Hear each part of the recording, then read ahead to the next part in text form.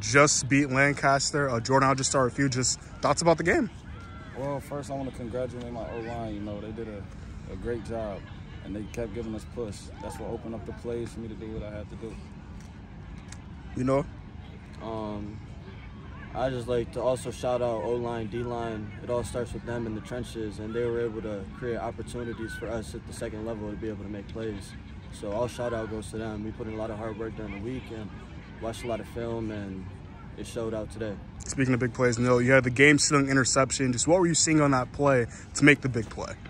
Um, I watched a lot of film this week, getting to know my opponent. Uh, great quarterback, great receivers, and those dudes are tough. They put up, a, um, you know, a good fight at the end, but I was able to read it perfectly. Great pressure from my uh, D line. Everybody does their job, and I'm able to come out with the interception and seal the game. Now, for you, Jordan, thoughts about your performance where, you know, you had a, a running, you know, touchdown, you had to score to Esker. Just thoughts about how you were able to, to score today and help the team out. Well, like Noah said, you know, I've been watching a lot of film. We whole team been watching a lot of film. You know, we had to point out their weak spots. That was one of them. You know, and I just had to execute. Now, for the game itself, for both you guys, you know, Lancaster kept it close, kept it competitive. What were they doing that made it so tough? Um, well, they got all around a great team, great quarterback, great receivers. Like I said, you know, those dudes put in a lot of hard work too, just like how we put in our hard work. And you know, those are a great team, and they truly fought. But you know, we were just able to come out on top today, and I think we just wanted a little bit more than they did today.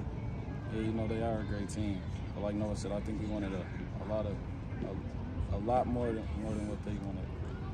Now, for both you guys, what's a takeaway from today's game?